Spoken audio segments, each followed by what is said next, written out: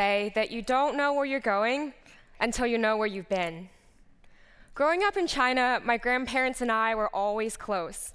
But when I moved to the US when I was 10 with my, with my parents, it became harder to stay in touch. Not only did we live on opposite sides of the globe, we also lived in different worlds, worlds with different languages, values, and cultures. Uh, for instance, when I was so excited to be living on the lawn at the University of Virginia, my grandparents said, Okay, Yiqi, we're glad you're happy, but why do you want to go camping on a grassy field for a year? because of these cultural and generational differences, sometimes it felt like our conversations just had to revolve around mundane topics.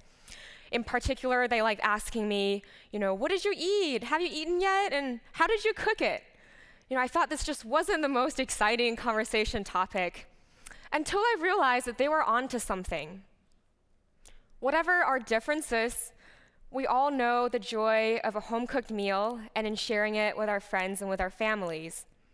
Food is the bridge that can connect our disparate worlds. Others too have realized this power of food to create connections. In 2012, the US State Department launched a culinary diplomacy project as a way of supplementing traditional diplomatic efforts. On launch night, Secretary of State Hillary Clinton noted that sharing a meal helps people transcend boundaries and create bridges in a way that nothing else can. And that's how I got my idea of using food as an instrument of reconnecting with my grandparents and learning more about my family history. So, in the summer of 2013, I traveled to China to learn the recipes and the stories behind my family food traditions.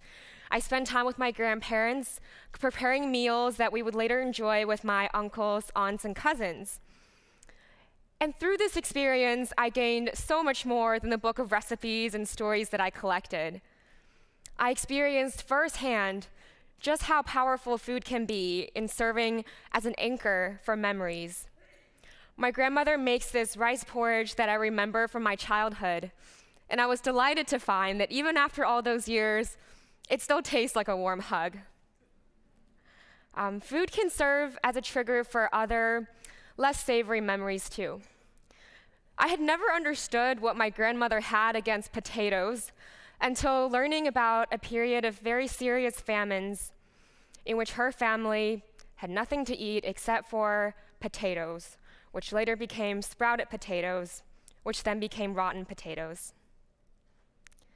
The most powerful aspect of my journey has been cooking with my grandparents because this was an opportunity for me to truly listen with patience and humility.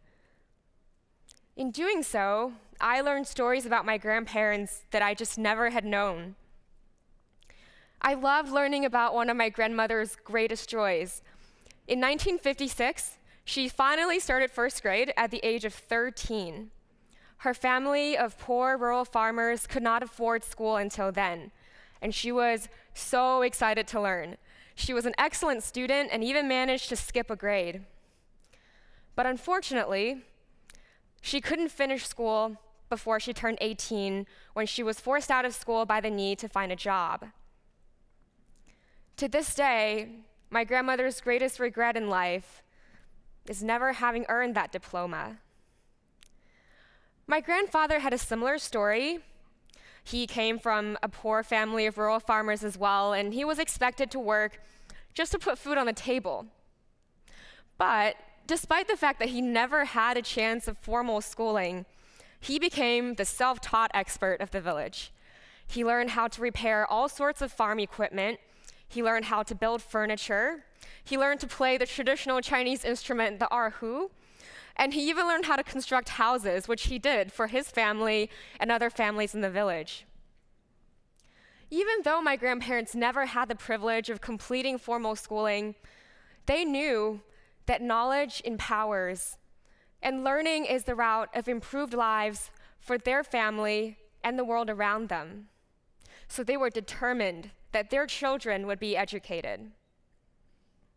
While this was easier said than done, Having three children in school meant that my grandparents had three fewer pairs of hands to help in the field, but three more sets of boarding school fees to pay. And because of this, they worked longer and harder than anyone else had to. And for my father's part, him, he and his siblings walked 10 miles every week just to go to school, even in the brutal winters of northeastern China, when the roads were covered in sheets of ice.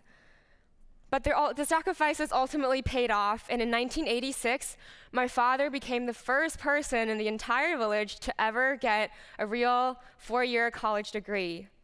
And in the years that followed, his siblings did the same. And today, they've gone on to become an MD, PhD, a doctorate of veterinary medicine, and a math teacher. For my family, education has been the route of improved lives and greater opportunities to serve those around us. Understanding this legacy is what continues to drive me to take responsibility for my education and to use it to help others who need it most. So, through my journey, one of Miles and Morsels, I learned not only the, the history of my family, but gained a deeper appreciation for education that continues to guide my path in life. Through this experience, I learned that something as mundane as food can connect people across generations and across cultures. So I want to ask you what can you learn if you took the time to share a meal with someone? Thank you.